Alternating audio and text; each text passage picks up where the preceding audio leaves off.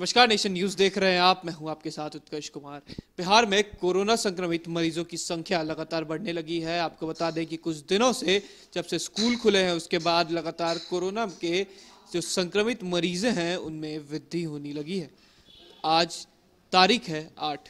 आपको बता दें कि बिहार सरकार द्वारा जो कोरोना संक्रमित मरीजों की संख्या है, वह जारी कर दी गई है। आइए जानते हैं किन किन जिलों में कितने कोरोना संक्रमित मरीज़ पाए गए बात करें अररिया की तो छह, अरवल में नौ, बांका में एक, बेगूसराय में सताइस भागलपुर में उन्नीस, भोजपुर में तीन, बक्सर में सात, दरभंगा में उन्नीस, ईस्ट चंपारण में तीन, गया में सात, गोपालगंज में पाँच, जहानाबाद में छः कैमूर में छः कटिहार में तीन, खगड़िया में नौ, किशनगंज में दो, लखीसराय में एक, मधेपुरा में दो, मुंगेर में दो, मुजफ्फरपुर में सत्रह, नालंदा में छः पटना में 203 पूर्णिया में 25 रोहतास में एक, सहरसा में एक, समस्तीपुर में चार, सारण में दो, शेखपुरा में दो, शिवहर में सात, सीतामढ़ी में पाँच, सिवान में तीन, सुपौल में एक, वैशाली में ग्यारह, वेस्ट चंपारण में एक।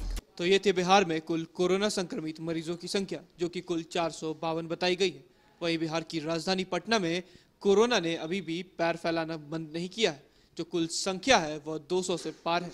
फ़िलहाल खबर में सिर्फ़ इतना ही। आप हमारे साथ बने रहें और देखते रहें एक्शन न्यूज़। धन्यवाद।